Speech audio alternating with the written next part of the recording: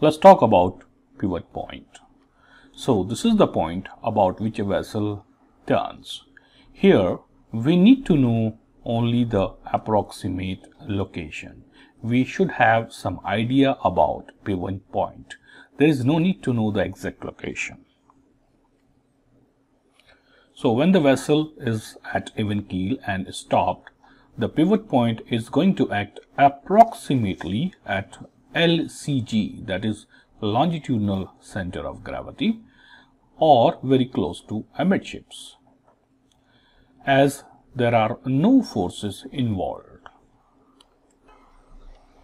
Now, as the vessel starts making headway, the bow is going to strike the waves. So, what happens?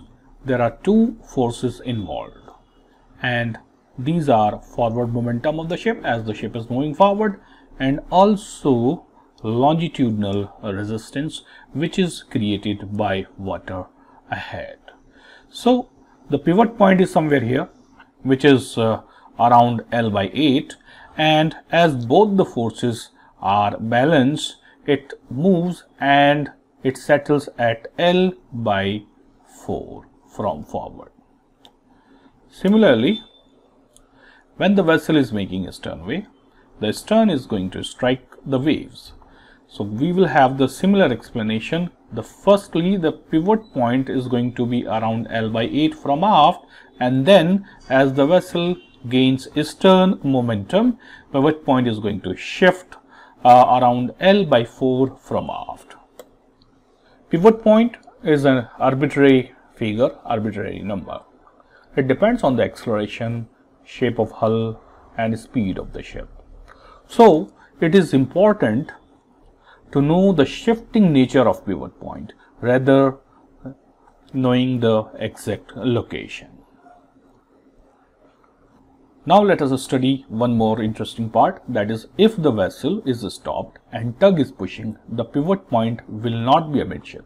So in this case uh, tug is pushing like this pivot point is not going to be amidship pivot point will be somewhere aft and the vessel is going to turn like this. Similarly, if the tug starts pushing like this, from aft, pivot point will be somewhere forward and the vessel will turn like this. So, let's have the application of this pivot point, rather shifting nature of pivot point. So, if the vessel is stopped and tug is pushing, the pivot point will not be at, at amidship and we'll see that there will be maximum turning effect. However, if the vessel starts moving ahead, so pivot point is somewhere here which is L by 4 from forward and tug is pushing the bow that time will have minimum turning effect. However, in this case there will be maximum turning effect. That's why it is important to know the shifting nature of pivot point. Now, vessel at anchor will have pivot point at the anchor itself and vessel is going to swing like this at the anchor point. Let us discuss effect of trim and list on pivot point. So in case of trim the pivot point is going to shift towards the trimmed side. So in case here this is the forward trim uh, pivot point is going to shift forward. If the trim is aft or trim is by stern, pivot point is going to shift aft. Similarly, in case of list, the pivot point is going to shift towards the listed side. Now, let us talk about right-handed propeller or RHP. As per the convention, the right-handed propeller turns clockwise while moving ahead. Now, there is a term called pitch and pitch is the distance moved by a propeller in one complete revolution. And this pitch depends upon the angle of blades. Well, these are blades, angle of blades, which is fixed actually for fixed pitch propeller, FPP. Now, let us discuss some forces which are going to act on propeller. So suppose this is the water surface then for sake of convenience, I am going to show only two blades here. So this is upper blade and this is lower blade. So what happens now the direction of the rotation of this uh, propeller is suppose this is clockwise.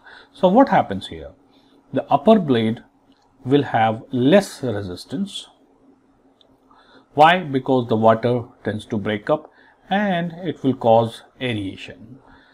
Now let's talk about the lower blade. The lower blade will face more resistance because there is less aeration at greater depth. Now let's see the effect. So we have this force F and here this force F propeller is turning. So this force these forces are equal. However, here the resistance R1 is less and here the resistance R2 at the lower blade is more. So we can say R2 is greater than R1. So resultant of these forces will be R is equal to R2 minus R1. The resultant of these forces will act towards right side. So let's talk about transverse thrust.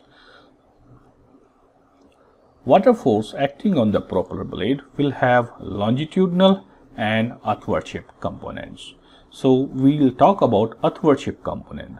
The athwartship component of water force acting on the propeller blade is called transverse thrust. Now we shall study the effect of transverse thrust while moving ahead or astern. So here let's have this diagram. And suppose we are moving ahead. So as per the convention the propeller is turning clockwise. Clockwise. Right?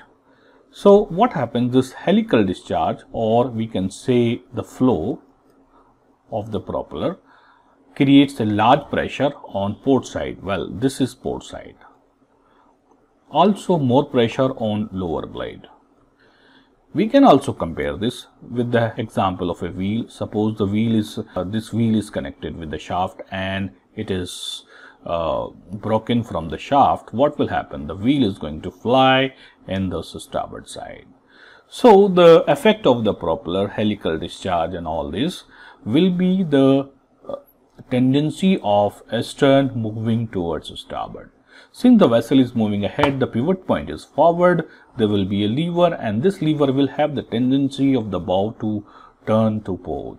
So we can say while moving ahead, bow will cant that is turn to port for right-handed propeller. Well, this is very much noticeable in still water and near perfect conditions.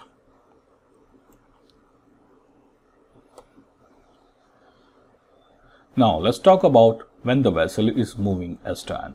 So when the vessel is moving astern, the propeller is right-handed propeller is going to uh, rotate anti-clockwise as it's seen here.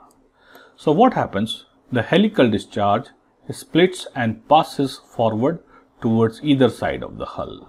So the vessel is moving aft. Now this helical discharge is going to uh, shift on both sides. So on port quarter, this helical discharge will be inclined downward and on the starboard quarter, this helical discharge will be directed upward. So a substantial force uh, will be created which is capable of swinging the stern to port side, swing towards port side or we can say as the wheel breaks from the shaft, the wheel is going to fly in the port side. So it is having a tendency that stern is going to swing towards port side. Since uh, the pivot point is here as the vessel is moving astern, uh, there will be a turning effect and the bow is going to swing towards starboard. So we can say while moving astern, bow will cant that is turn to starboard for right hand propeller. Now we shall also study forces in tons. Well, transverse thrust is a weak force and it all depends on the RPM of propeller. If the RPM is increased, the thrust can also be increased. If the RPM is reduced, the thrust can also be reduced. Let's have this example. Suppose uh, there is a vessel of 80,000 ton uh, displacement. The shaft horsepower SHP is going to be 20,000 full ahead. It is given. Now, full astern, we take around 50% of the full ahead power. So, the full astern power is going to be 10,000 SHP. So, for practical purpose, we take around 5 to 10% of the stern power as the transverse thrust. So, 10,000 SHP will give you 1000 SHP. And assuming that 100 SHP is equal to 1 ton of force, then we have around 10 ton of transverse thrust when the ship is moving aft. Now you may be wondering what is SHP. SHP is uh, shaft horsepower. SHP is shaft horsepower. So uh, this is a brakes power which is the engine output then it passes through the reduction gear and it reduces. So shaft horsepower SHP is brake horsepower minus mechanical losses and reduction gear. Now there will be DHP delivered horsepower allowing for the mechanical losses of uh, seal and other bearing stuff.